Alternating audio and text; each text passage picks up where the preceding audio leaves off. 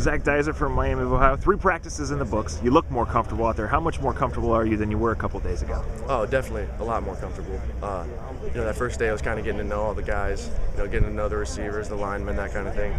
Trying to pick up on little little keys that each one of them do a little different. And you know, going to day one, day two, got a lot better, got a lot more comfortable, and then going from day two to day three today, you know, it got a lot better too. So, you know, I think that's what the coaches want to see, you know, improvement every day. And, you know, I definitely feel a lot more comfortable today than I did day one. You went to Miami. You spent a lot of time in Findlay. You rooted for the Steelers. The comparisons to that Big Ben guy are inevitable. Do you, do you run from those or embrace those? No, you know, I, I, love it. To tell you the truth, you know, I always I grew up loving Ben, and uh, for people just to put me in the same sentence as him, compare me to him, you know, it's a tremendous honor for me because that's you know who I looked up look up to, and you know, I try to try to implement my game a little bit like him. You know, he's great at extending plays with his feet. You know, finding that open receiver downfield. You know, I try to do that too. You know, I think I do a pretty good job. I mean, obviously not as good as him. You know, he's the best at doing it, but you know, I try to try to pick up on him.